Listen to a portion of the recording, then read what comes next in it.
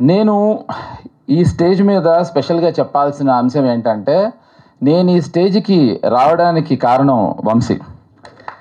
నాకు చెప్పని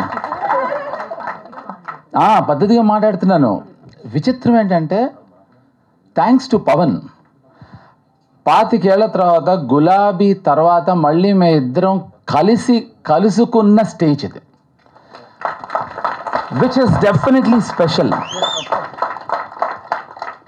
so Gulabi గురించి నేను మాట్లాడిన వచ్చిన దయా గురించి కానీ చెప్పాలి. వంశీ కన్విక్షన్ గురించి చెప్పాలి.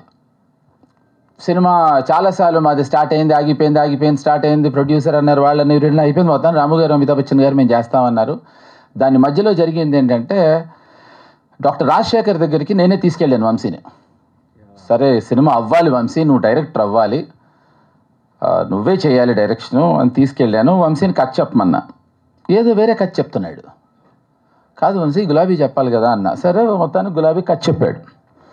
చెప్పిన తర్వాత రాజశేఖర్ గారు నా వేషం వేస్తా అన్నారు. బ్రహ్మాజీ వేషం నన్ను వేమన్నారు అది వంశీకి ఎంత గుర్తుందో నాకు గుర్తులేదు. He just stood up he walked out బయటికి వచ్చి చేస్తే నేను చక్రితో చేస్తాను. లేకపోతే నేను గులాబీ ఇంకోళ్ళతో చేయను అన్నాడు. Now that makes hell out of difference bike song గురించి చెప్పాలండి. అది చాలా అద్భుతమైన సాంగ్. దాన్ని చాలా ప్లాన్ చేసి ఎక్స్ట్రాడినరీగా బ్యూటిఫుల్గా ఫెంటాస్టిక్గా చేసామంటే అబద్ధం. నేను వంశీ అమ్మాయితో అప్పటివరకు బైక్ మీద వెళ్ళలేదు. వంశీ ఎరా ఎప్పుడైనా బైక్ మీద వెళ్ళాం అమ్మాయితో? అని వెళ్ళలేదన్న నువ్వు వెళ్ళావా? అన్న. లేదన్న ఇద్దరం కలిసి వెళ్దావా? అన్నాడు వెళ్దాం అన్న. అక్కడి నుంచి ఉద్భవించింది బైక్ సాంగ్. అంతే కదా వంశీ?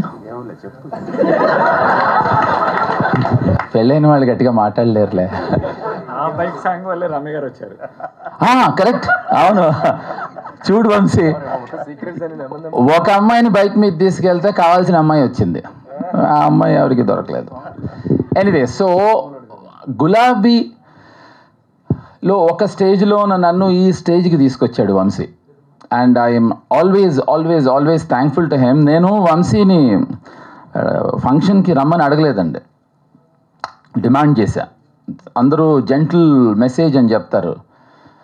నేను చాలా స్ట్రాంగ్ మెసేజ్ అని రిమైండర్స్ ఇచ్చాను. I wanted him to be here of course Pawan is a huge fan of Vamsi and he definitely wanted Vamsi to be part of it నేను ఫస్ట్ హీరోగా చేసిన cinema గులాబీ అయితే నేను ఫస్ట్ హాట్స్టార్కి ఓటీటీకి నేను చేస్తున్న సినిమాకు వంశీ ఉండి తీరాలి ఉత్తేజ్ ఉండి తీరాలి అనేది is what I felt so ఇంకా చాలా విషయాలు నేను గులాబీలోవి అవన్నీ తర్వాత మాట్లాడుకుందాం.